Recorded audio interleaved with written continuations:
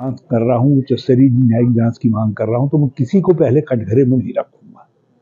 ये ये काम हम उस जाँच के ऊपर छोड़ना चाहेंगे और मैं मुख्यमंत्री जी से भी कहना चाहूँगा कि यदि भाजपा तत्कालिक लाभ न देखे तो राज्य के दीर्घकालिक हित में आवश्यक है कि इस घटना की उच्च न्यायिक जाँच हो ताकि असली कारण भी समझ में आ जाए और असली गुनाहगार भी सामने आ जाए। कोई किसी को बचाने की कोशिश नहीं कर रहा है। जिन्होंने गलतियाँ की हैं, उनको दंड मिलेगा।